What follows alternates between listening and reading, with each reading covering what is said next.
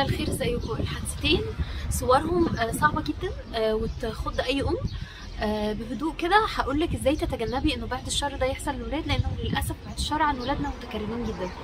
آه، المشكلة الأولى آه، هي في أم آه، كانت مدخلة ابنها يستحمى عادي جدا وهو بيستحمى كان بيلعب بالباث تويز أو اللي هي اللعب اللي بنلعب بيها في الحمام اللي زي البطة والحاجات اللي أنا حاطه لك صورتها. الولد لعب عادي جدا كان بيطرطش مية من اللعبه على عينه وعلى وشه عادي وبعدين الولد دخل ينام مفيش أي مشكلة صحي الصبح عينه بالمنظر اللي أنتوا شايفينه ده. فده اتضح إن ده من إيه؟ اتضح إن ده من المولد أو بعض الفطريات اللي بتنمو جوه اللعب بتاعة المية لعب البيسين أو اللعب بتاعة البانيو خصوصا مع دخلة الصيف. ال- الفطريات بتلاقي مية جوه المكان فبتنمو بشكل كبير جدا بتفضل متخزنة جوه اللعبة. وللأسف ما بتموتش بالطرق التقليدية للتنظيف. وللأسف طبعا للأسف يعني كانت هتضيع اولموست كانت هتضيع عين الولد بعد عن ولاده طيب أنا أتجنب المشكلة دي إزاي؟ اولا بعد ما الطفل يلعب باللعبة البطة والحاجات دي لازم تعصريها كويس قوي تطلعي أي مية منها وبعدين تصفيها كأنك بتصفي طبق لغاية ما تنشف. خلاص. تاني حاجة مرة في الأسبوع على الأقل لازم اللعبة تتنقع في مية وخل بحيث إن كل آه، مثلا جالون مية بيتحط له نص كوباية خل. جالون مية ده يعني حوالي 3 لتر مية إلا شوية. بيتحط له ده ده المقدار بيتحط له على الأقل نص كوباية خل علشان خاطر الخل يبقى مركز جدا جدا آه فيقدر إن هو ينظف كل اللي موجود آه جوه اللعبة. الكلام ده بيفضل قد إيه؟ الكلام ده بيفضل لعبة بتفضل منقوعه لمده ساعة على الأقل وكل ما لسه سبتيها وقت أطول آه يكون أفضل. بعد كده بتطلعي اللعب تغسليها غسلتك العادية مثلا بصابون آه، اللي انت متعودة تغسلي بيه اللعب صابون سائل وات الصابون إيه حطيتيها في غسالة الأطباق آه، لو هي بتستحمل تدخل في غسالة الأطباق على مية سخنة. مفيش مشكلة. وبعدها تعصريها عصرة كويسة قوي مرة في الأسبوع طالما الطفل بيلعب بيه عشان أبقى ضامنة إن هي ما جابتلوش فطريات لا في عينه ولا في الفم ولا في أي مكان تاني بعد الشر عليهم. بعض الناس بتنظف اللعب بالكلور الكلور عشان أستخدمه لازم يكون متخفف 10 لواحد. يعني آه، مثلا كل مثلا ملي من الكلور قصاده 10 ملي مية. مشكلتي مع الكلور إنه ساعات بيضايق نفس الولاد والولاد عشان بيمصوا في اللعبة كتير فلازم أبقى ضامنة إن هو اتشطف شطفة رهيبة عشان خاطر الولاد ما تاخدش كلور يتعب معانا الحادثة التانية بقى اللي حصلت وصدقوني دي بتحصل كتير جدا جدا عندنا هنا بالذات في مصر.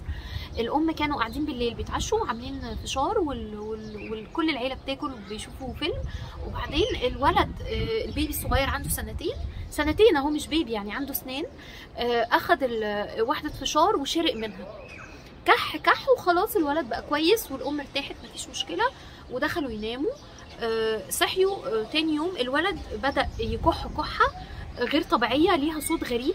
طول الولد بدأ آه، نفسه يبقى ليه صوت ونفسه مش مرتاح خالص الولد بدأ يسخن. فالأم نزلت طبعا على الطوارئ. قالوا اضطروا يحجزوا منظار والطفل اتعمل له منظار bronchoscopy اللي هو منظار بيدخل في الشعب الهوائية يشوف فيها إيه.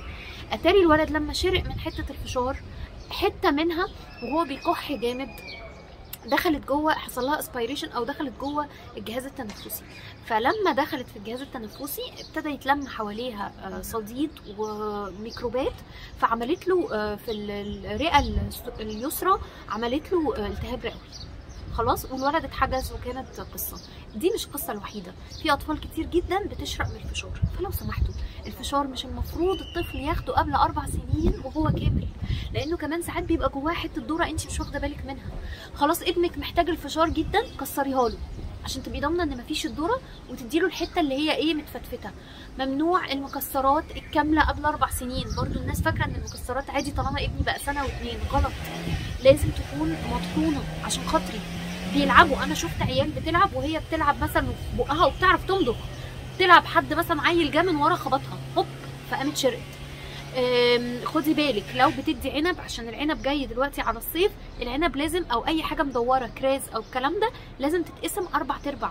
اوعي تدي عنباية كاملة. العنباية الكاملة بالذات لو صغيرة لو نزلت في مجرى الهواء بعد الشر بتستقر ما بتتحركش. طيب لو بعد الشر ابني شرق أو حصل أي حاجة من الكلام ده إزاي أنقذه بسرعة؟ لأن في أمهات بتقلب الطفل راسا على عقب وده خطر جدا. في أمهات بتشرب الطفل مية وده خطر جدا. طيب أعمل إيه لو ابني بيكح؟ سيبيه يكح. دي الطريقة الطبيعية اللي بيخرج بيها الحاجة. لو ابني مش قادر يكح خالص ومتنح وبيزرق بعد الشر أو الكلام ده بيبي صغير اقلبيه على بطنه أوكي؟ واسندي بس راسه من هنا تكوني فاتحاها كده عشان الحاجة تخرج. خلاص؟ وبكلوة إيدك انزلي تحت شوية ما بين يعني تحت على طول لوح الكتف واخبطي ثلاثة أربعة خمسة عشان الحاجة تخرج. لو حد أكبر من كده يعني طفل بيقف عنده سنتين أو حتى راجل كبير لفي من وراه انزلي له للمستوى بتاعه وانزلي على ركبك لفي من وراه ونزلي دخلي إيدك من تحت الإبط خلاص؟